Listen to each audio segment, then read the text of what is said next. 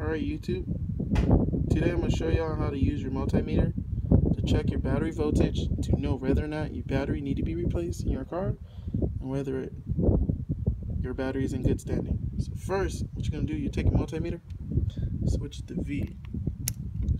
What you're going to do is once you have it on V, is you're going to put your red, your positive on the positive obviously and then on the negative. Give me a minute. It's kind of tricky doing it with one hand. Give me a minute. So what I'm gonna do is I'm gonna set this up right here. I'm gonna do it and I'm gonna hit. I have a function on here that have hold. So once I set it up and read full voltage, I'm gonna hit hold. So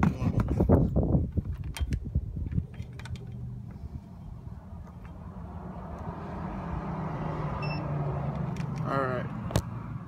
Thank you for being patient.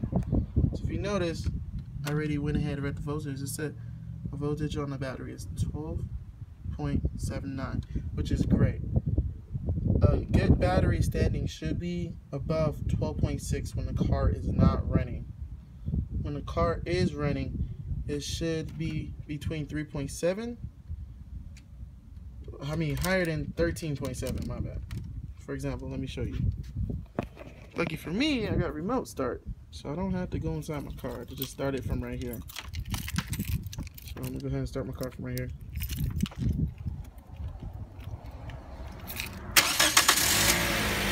Alright.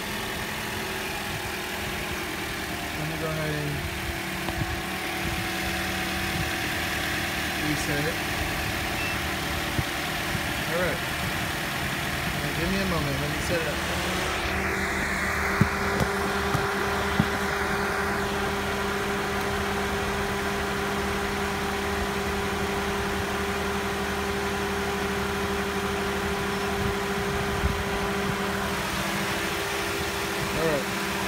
As you see, the battery is reading 14.05 while turning. Let me go ahead and turn off the car.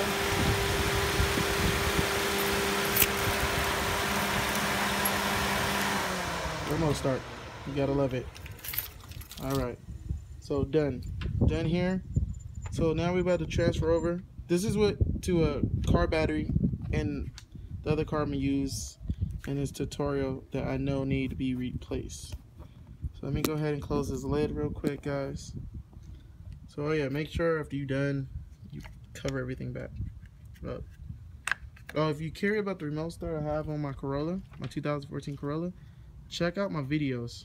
I have videos that review and talk about the remote start I used.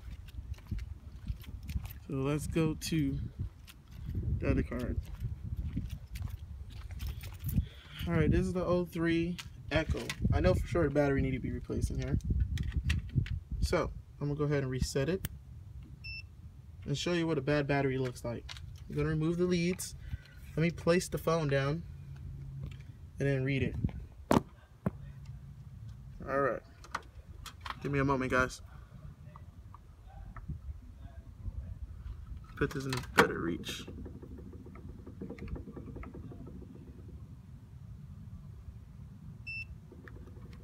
Okay. So, took the battery reading. Look at it. 10.81 voltage, which is bad battery. This is a bad battery, guys. Now, what I already knew this because we had to jump the car like 10. Just for the past couple of weeks, we just been having to jump it. So we jumped it like at least 10 times. So we're about to replace the battery. But that's a prime example of a bad battery working. You know, bad voltage on a battery um, it should be above 12.6 like you've seen on my Corolla. So let me try starting it up and see will it even start. I have remote start on this one too. Let me see here. Grab his keys. The battery been dying, so I haven't been wanting to start. Let's go ahead and start it and see. Let's see if it's gonna start. It might not catch. See, look at that. It didn't want to catch. Damn battery need to be jumped already.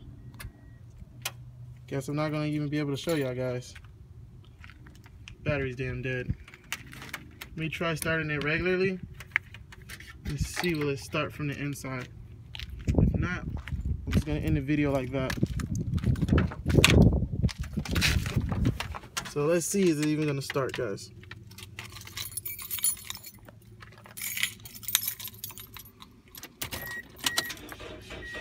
Nope. Oh, red. Oh, shoot. It started. I'm surprised. So, if we don't want to start with the remote start,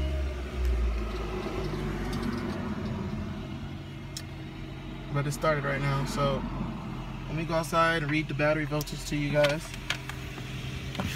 Where it's running. It should be reading higher, being that the alternator is in good running condition. So, give me a minute. Let me set everything up, guys. Set up the voltage. And take a battery reading. One moment, guys.